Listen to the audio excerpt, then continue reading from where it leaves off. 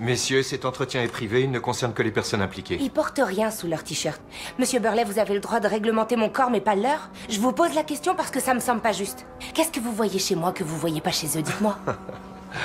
Le problème est différent. Absolument. Mais ça vous concerne, vous. Le problème vient pas de moi ou de mon corps. On parle pas de soutien-gorge dans le règlement. Ni vous ni personne ne peut me forcer à en porter un. En plus, il y a au moins une centaine d'autres filles qui n'en pas aujourd'hui, y compris des membres du groupe d'émancipation des femmes, du groupe pour la parité, du groupe de théâtre et le groupe de danse au complet. Tenez. Je vous ai imprimé la liste des noms. Ils seront tous ravis de venir vous parler. Si vous voulez que je me change ou que je referme mon suite, ou si vous me renvoyez chez moi. Vous allez être obligé de faire la même chose avec eux.